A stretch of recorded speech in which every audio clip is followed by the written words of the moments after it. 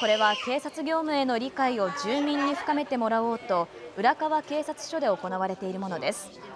パトカーの展示や指紋採取の鑑識体験などのほか署長室を公開し子ども用の制服を着て記念撮影ができるなど警察業務への理解を深める催しです。この催しは今日昼までで現在募集中の警察官採用試験の受験者に向けた魅力発信の場にもなっています。